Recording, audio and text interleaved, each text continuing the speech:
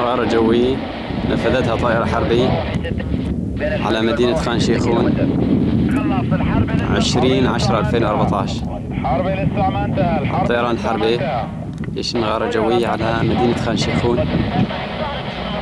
20 10 2014